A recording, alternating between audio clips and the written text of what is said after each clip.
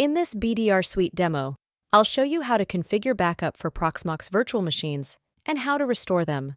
BDR Suite proudly offers one of the earliest agentless backup solutions for Proxmox VE.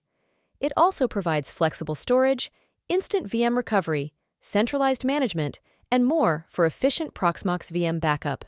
To get started, head over to the BDR Suite website and click Start Free Trial.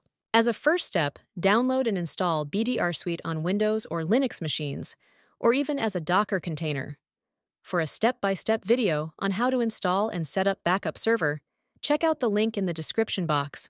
Be sure to fill in the form provided for technical assistance. Once the installation is complete, open the BDR Suite Backup Server console. Enter the username, password, and click Sign In.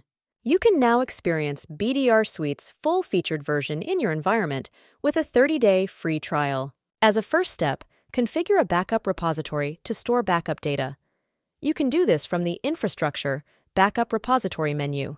You can either use on-premise or remote storage like DAS, NAS, SAN, or use your own public cloud storage Amazon S3, Azure Blob, Google Cloud, and S3 compatible storage like Wasabi, MinIO, Backblaze, etc. Next, add the Proxmox VE host for backup. Navigate to the Data Sources Hypervisors menu and click on Proxmox VE. Following that, click on the Add Proxmox VE button.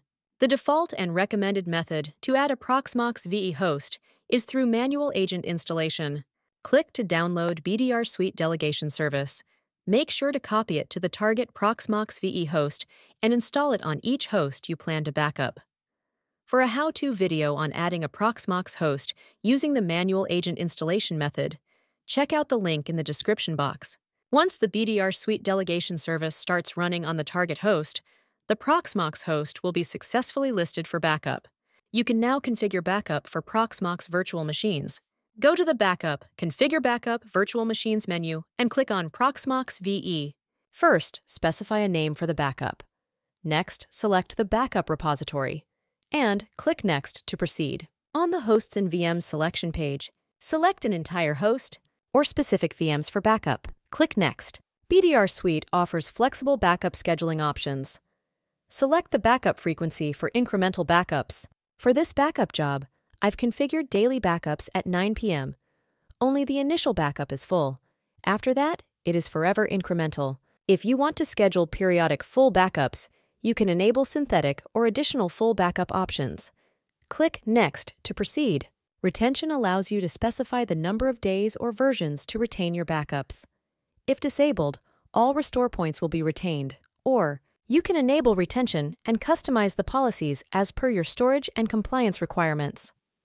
Once that's done, click Next. Backup data encryption encrypts all the backup data during transfer and at rest.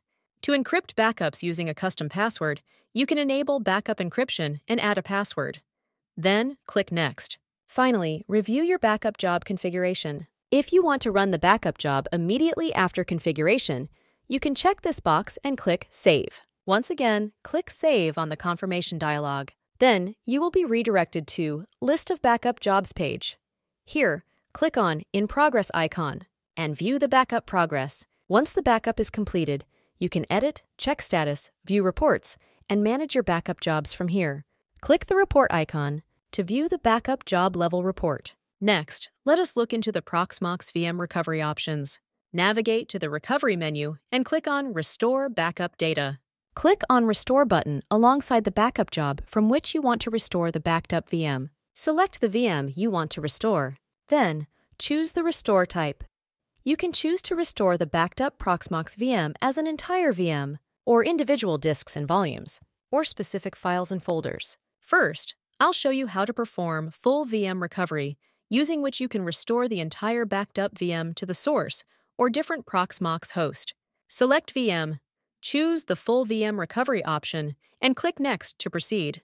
Select the restore point and click Next. Once that's done, click on Search icon to select the target Proxmox host and storage. You can select an existing host or add a new Proxmox host. Then, select the target storage on the host. Click Apply to proceed. Enter the target VM name for the restored VM and choose the VM Power On preference after restoration. Click Next. Finally, review your recovery configuration and click on Restore. Click OK Proceed on the confirmation dialog to initiate the restore. Once that's done, you will be redirected to the Restore Backup Data page. You can click the Progress icon to view the restore progress. Once the restore is successful, you will find the restored VM on the target host. Let us now look into file level recovery. First, select VM, choose the File Level Recovery option, and click Next. Then, select the restore point and click Next. The list of disks and volumes on the selected virtual machine will be listed. Expand and select the files and folders you want to restore. Then, click to choose the restore location. Select the folder path on the backup server machine to restore. Then, you can choose to restore files and folders as a compressed and encrypted file with a password. Click Next. Finally, review the recovery configuration and click the Restore button. Afterwards, click on OK Proceed to initiate the recovery. You will be redirected to the recovery page from where you can view the restore progress. Click on the Reports icon to view the recovery report. Once the restore is successful, you will find the restored files and folders on the restore location. Now it's your turn to try it out. Visit our website to start your free trial, and if you need any assistance, contact BDR support. Thanks for watching.